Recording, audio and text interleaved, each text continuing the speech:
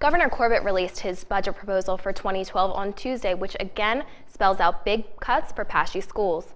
Schools in the PASSHE system will see a 20% cut in state funding, a leap from the 5% cut they saw in last year's budget. Shippensburg has already cut back on heating and lighting in an attempt to trim expenses to fit the first round of cuts. This time, they could force SHIP to increase class sizes or worse, cut faculty members.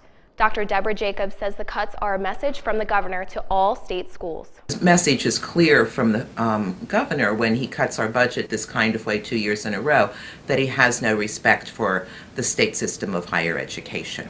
President Ruud says all forms of cuts are on the table at the moment, but hopes the state will work to make the budget more manageable for everyone.